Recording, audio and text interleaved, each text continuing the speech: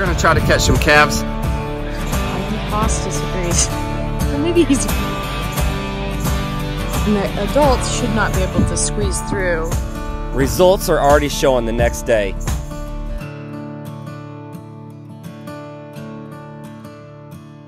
Hey guys, Dusty Baker. Hey guys, welcome back to Cross Timbers Bison. Marissa's in here with me. We're gonna do something challenge today. We've got a little liner for an old feeder. You can see Dunbar got a hold of it back in the day. We're gonna use our hydro bed. Here's our creep gate. Built this last year to catch some calf at the original place at Mom Kevin's. We're gonna use the hydro bed to lift it up, haul it down there. Marissa are gonna set it up. Got a mixture of feed. We're gonna try to catch some calves. Here's how we're gonna do it.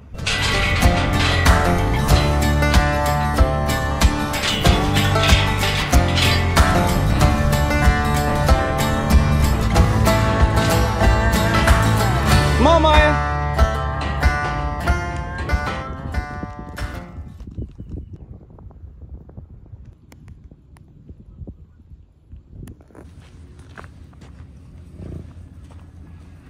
Yep. Your far side needs to be over here. It's easy to pick up. Yeah, that's about that's about right. You can come back some more actually. Yeah, I put it park. Here it is.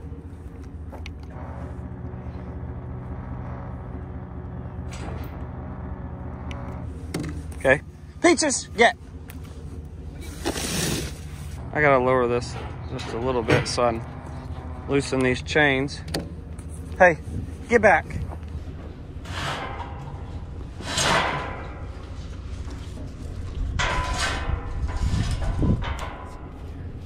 This gate's gonna be open.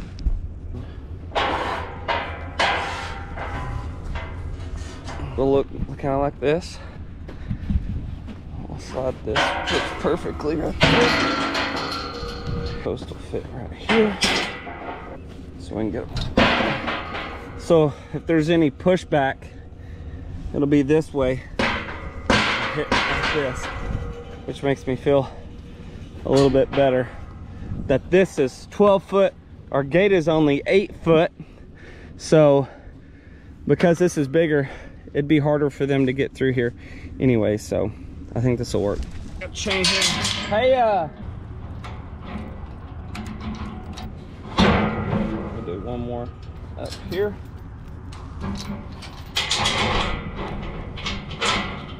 It kind of tight.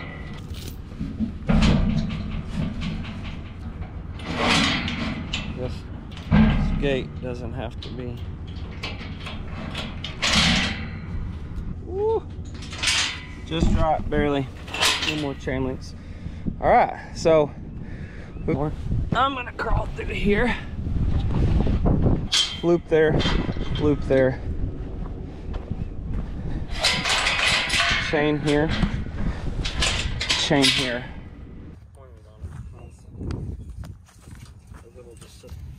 If you point it on, I'm standing there in front of the gate. Yeah, This thing will go off a lot. true. So you're pointing it over Here, here. just at an angle. I want to see who comes in here first. So let's grab this.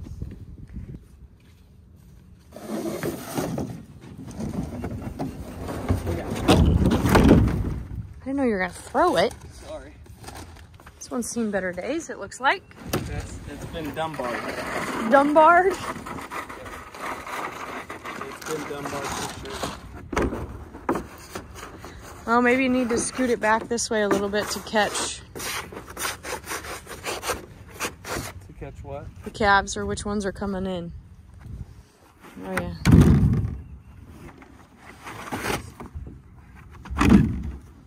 I went ahead and got.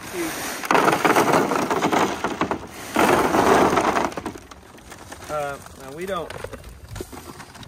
If we're feeding our weaning calves, we feed them our. It's like a blend. It's a mixture of different feeds that we feed them. So I threw a little bit of that in there, and our 14% cattle cubes that we always feed them, and the calves will eat them too, along with the adults. So they're gonna want in here, and uh, already see the guilty ones either jump fences or that's the jumper there. So 54. they're gonna want in here, but hopefully It works. We've seen the calves go through it. I haven't seen adults go through it. But they're going to have to get used to this wanting in here. So it'll be good to have it on camera at least. Know what's going on. So this is just a liner from an old feeder. Dunbar tore it up. Um, this is in the early days, basically, when we had these. And I don't have any spare feeders right now. Actual feed bunks, feed troughs. They're pretty expensive, and you have to buy the heavy duty ones for bison. They're like $250 plus locally, and you have to get the heavy duty metal ones, not these ones that are lined with this. So instead of going buying one, we can just use this. But the idea basically is to get the calves to come over here, come through that creep gate and start eating food on their own. So Marissa and I can bring the food in here on a daily once they start coming in here. And then the idea is to catch them. And we may have to come down here and set some panels up or something to catch them. So, or get them lured to come all the way to the ranch, all the way to the barn. The boys are being boys. So the next thing will be who's coming through. Yeah, and the adults should not be able to squeeze through this. Adult can get under that, then Yeah. So you're targeting. Shoot, that guy might not even be able to. now some of them big ones are gonna have to duck under Hey, Hoss. once they figure it out. But bison typically, bison bison typically don't like doing going under or down or something up above them. That they don't like to go under stuff. I think Hoss disagrees. Yeah, or maybe he's agreeing. it's just being cost. You gonna whip up on that rock, boy?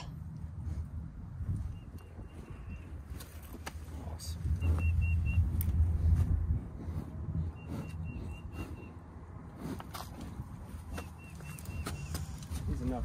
Let's He- leave him alone. Yeah, he makes me a little. He's just He makes me a little nervous.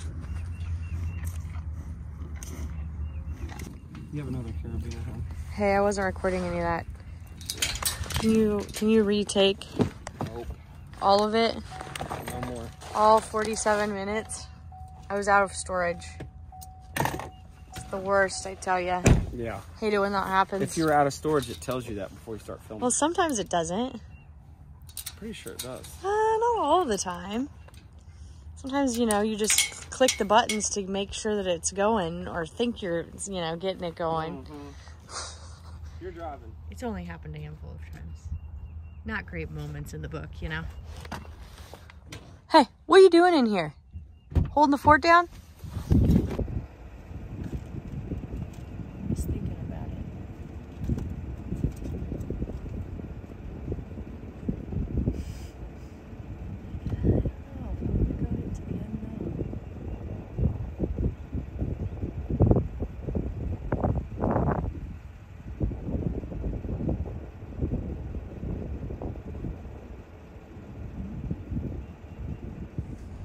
So later that evening, I happened to still be around the Ponderosa, and I thought, oh man, I really want to look down there and see if those calves are starting to come in there. Well, surely enough, I looked, and so I had to go drive down there to see how many calves and what calves actually came through the gate that Marissa and I set up. I was actually surprised to see that we had about six of these calves already coming through within six hours of the day of us installing this creeper gate, which was a good sign. And in case I didn't mention it, one of the reasons that we're doing this is it's just time to catch our calves. They've been on these moms long enough. This is the longest date that we've ever had these calves on their mamas. We typically wean at six or seven months, which is in the fall, more than likely be November, December. But I wanted to try something different this year and leave the calves on a little bit longer to see if they can still get those great nutrients from their mom. But now the challenge is we're about a month away from working our animals, and I really want to get these calves caught and start the weaning process before we actually do the working here in about a month. Now it's just a matter of time of seeing how many calves will actually come into this area of pasture 2 through that creeper gate. And then what we'll probably have to do is set panels up bring the trailer down here and try to catch them that way. And hopefully we can bait them in enough. Over and over it becomes regular to them and then we can catch them get them up to the corral and start the weaning process. Because what I'm trying to do is avoid bringing the whole herd up, having to catch them, gate cut them, and separate the calves off the moms. That's more of a challenge. And we're trying to avoid all that because when we do work them, we'll have to do that in a month. And so I'm trying to avoid instead of doing it twice, we can do it only once. Looks like some of them got caught. I see some them didn't. Or maybe she went in there. He went in there. She went in there, maybe. I don't know if all of them got caught. There's a couple more out here. but there's definitely one, two, three, four, five, six in here. At least caught six in here.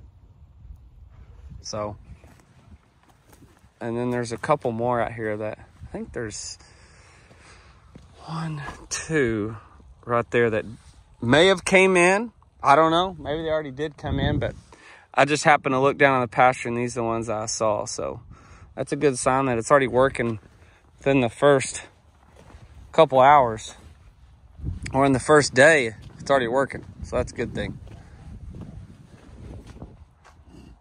Little munchkins.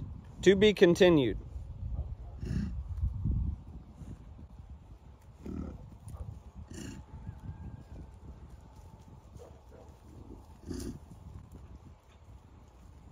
Did you get her? Yes, yes, I did. Yes, I did. Job 352. It's just Jackie. She's not mean, but I know it's your natural instinct. She's still watching you, Jackie.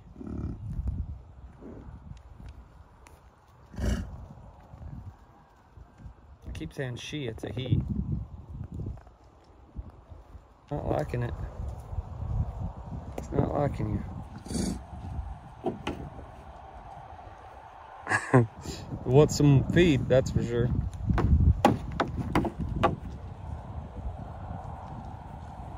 Tails up. Little bull. There is some grass growing down here. Uh, some winter grass. And uh, over here, I have a cover crop planted in pasture too. But um, they're uh, they're getting after this winter grass. They've already grazed it down some. I figured they would. I'm sure they'll go back to mom here pretty soon once we we get out of there. There's the 351 bull. He's he is a tank. That's the one I did call tank. Um, he's a big boy. I think he weighed 430 at a weaning weight, which is one of the biggest calves we've ever had. It's a Big Joe baby. And he's still watching Jackie out there. In case some of you missed the last video, we did one of my favorite things to do. We did a prescribed burn, and man, it went so awesome. We had the crew out and everything. Results are already showing the next day, and I was able to go take a look and see what the herd was up to. Post burn checkup right here.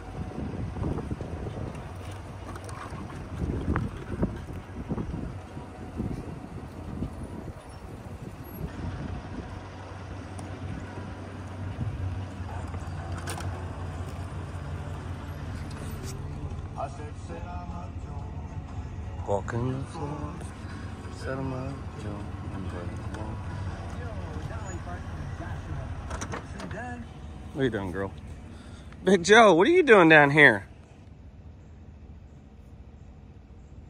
Come to inspect? No cubes today.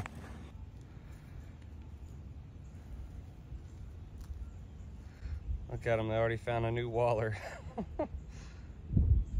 right there in the ash.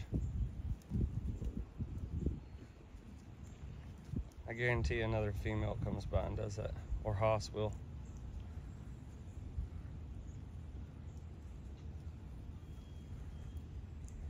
Somebody else is wallering in the ash.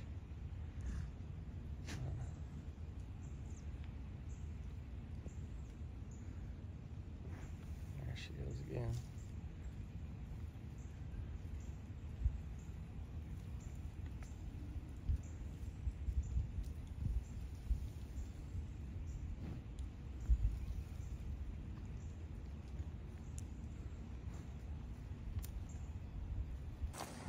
They're gonna come through and inspect.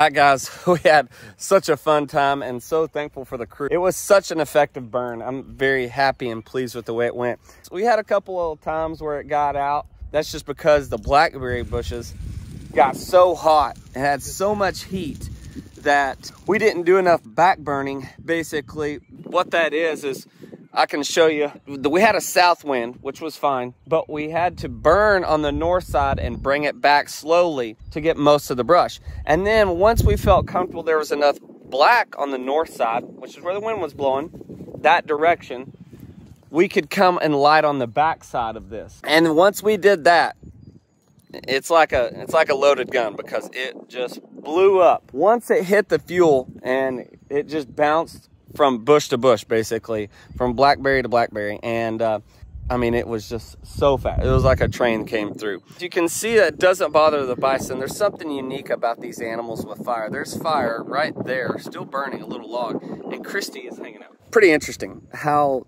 these bison respond to fire and ash and stuff like that. It's pretty, it's pretty neat. So I'm hanging out here trying to cut off some of this wind, but Big Joe's, he's back here waiting on me. He's like, are you gonna give me some cubes today or not?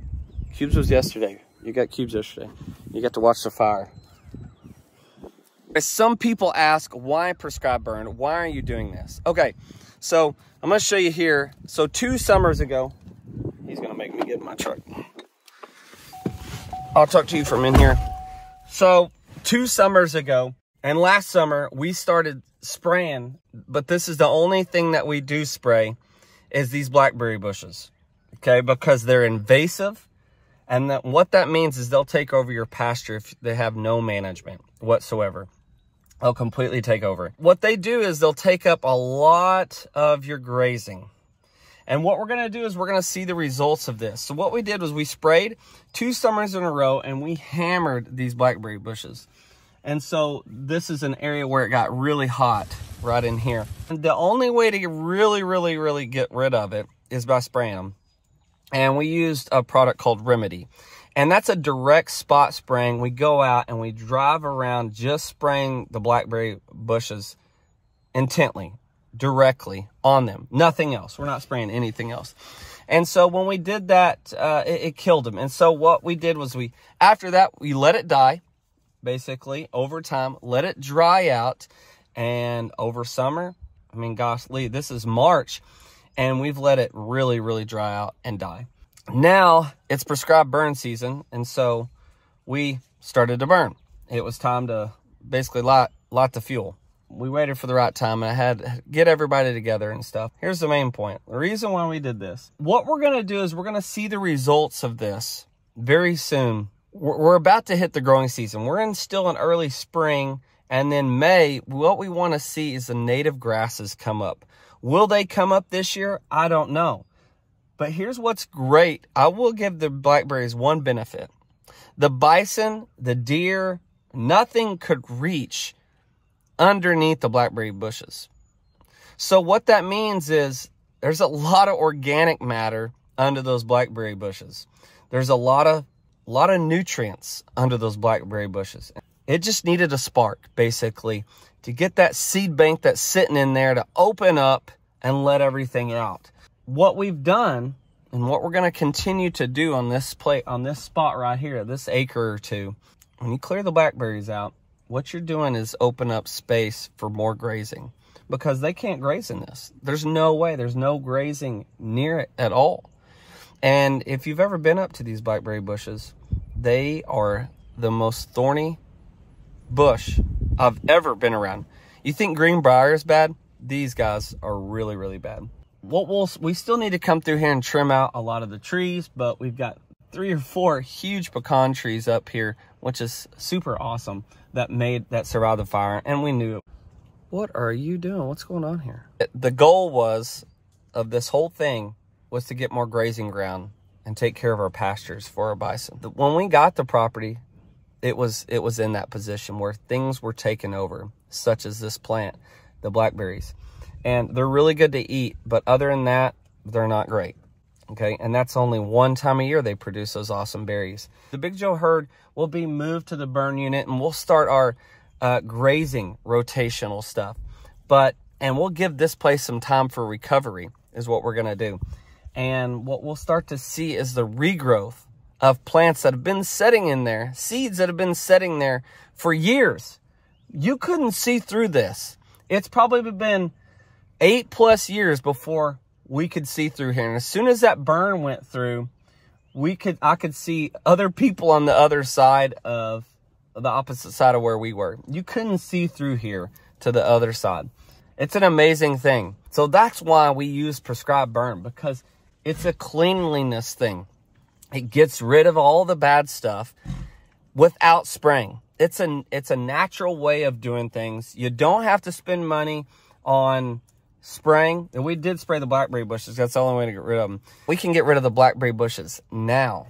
When you take that top surface layer of organic matter and you spark it up a little bit, you get a little uh, action, basically, a lot of good things can happen, and that's what we're waiting on. And so, with the little rainfall that we typically get in the spring, hopefully, this place will be a whole new world. And guess who's going to come get to it? These guys. That's what they've done for hundreds of years. When the natives would set the rangeland on fire, guess who would show up? They didn't have to chase the bison, right? The Plains Indians. They would come to them. So fire has been used for hundreds of years, and it's a great tool. It's a great technique to really manage the landscape and manage your native plants. It's basically a cheap and the most effective way to do it. And you've got to remove the bad stuff sometimes to make room for the good stuff. And we're trying to make room for the good stuff. And there's no greater animal that can make a major difference than these guys right here. Love burning, and it's not just for fun. There's a lot of good benefits to it. Even though part of the country not far from us is on fire, basically, prescribed burning can avoid big fires and they're going through some lot of tough times out in Texas right now. And uh, I've got some friends out there and we've been checking on them and stuff. So a lot of bad stuff happening out in Texas right now. And uh, we're lucky that we can do prescribed burning here. And uh, prescribed burning can, you know, things happen, wildfires get started, but the use of prescribed burning can avoid large fires and large outbreaks and uh, uh, some unfortunate things happen sometimes, right? I can't imagine what those guys are going through out in West Texas. Families, ranches, homes being destroyed in, in minutes, and uh, a lot of acres burned out there. Prescribed burning can help avoid those situations, but not all the time. Not all the time, okay? But it can be a great tool. Jackie's getting ran out of pasture. I want to thank my crew yesterday. They did an awesome job. Jerry, Eli, Marissa, Mud, Mark, Kevin, Keith brought an extra tank. And it was so good. Can't wait to see the results of this. We'll keep you updated so you guys can see why we prescribe burn. I can't wait. It's going to be so awesome and exciting to see the change of this landscape here in the next couple months. Thank you guys for watching. We're going to keep on bison ranching. See you guys soon.